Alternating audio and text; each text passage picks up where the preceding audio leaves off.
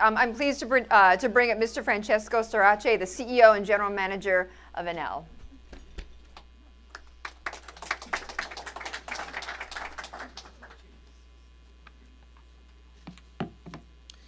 So uh, we've heard a lot of biggest, uh, the biggest this, the biggest that. I think we are all very large companies. We don't need to explain too much about ourselves. I think we should focus a little bit on a few things. First of all, we're all in agreement about what uh, we're trying to achieve. There's no more to say about that. What we want to make clear is that, as Antonio said, energy for us uh, is important for two reasons. One, the first is because we are an, about energy, so excuse us. The second is without energy, it's difficult to talk about anything else uh, in, in a modern sense. So we focus here on how we want to go about energy on a sustainable way. That's a little bit more complex. Um, we have put sustainability at the heart of the corporate culture, not just a business plan, which means that we will not go about sustainability if not on a creating shared value approach everywhere across the value chain, from development to construction to operating our facilities.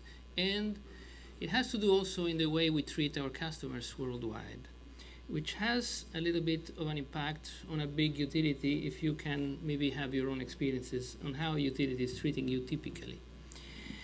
Um, we are going to change the way we go about growth. We scrapped large installations we said a large installation that takes 10 years to be permitted and built is unsustainable intrinsically because things get changed around the installation those, in those years. By the way, it, uh, by the time it's finished, after a long fight typically, basically finds itself in a different world. And it is no more such a good idea. So we scrapped that and we developed a very large, one of the biggest pipelines uh, projects of mid and small size of all technologies around the world. By scrapping large installations, we intrinsically scrapped coal plants, not because we don't like coal, but because coal is large and takes a long time to develop. It's tough luck. Typically, we talk about sustainability, and then somewhere else we talk about innovation. We think we cannot keep these two things separated. They will be together. So basically, our approach is to bring innovation and sustainability at the same level because it's just the way to go. Four goals, our commitment. The first one is uh, the Sustainable Development Goal 7. This is about access, and our commitment is to move into an access mode, so have enough electricity, 3 million people, 3 million people in Africa, Asia, and Latin America by 2020, which is not far away. That has to do with energy, uh, energy access, and it has to do with microgrid development. 500 on that microgrid, 2 million and a half on the other side.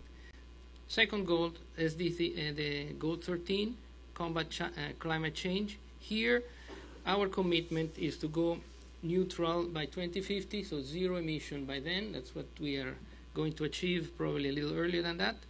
To do that, growth is on renewables, 50% increase on renewable uh, uh, funding one year from the other. We have today 8.8 .8 billions on renewables.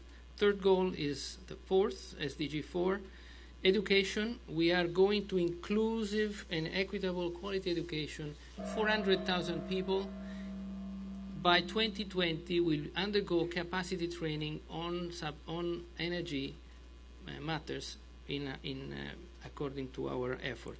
And the fourth goal is the eighth, and this has to do with entrepreneurial activities. Here we are going to have 500 people accessing businesses that they will be their own businesses thanks to funding that we will provide them in order to have entrepreneurial activities at local level around our installation worldwide. Thank you very much for your attention.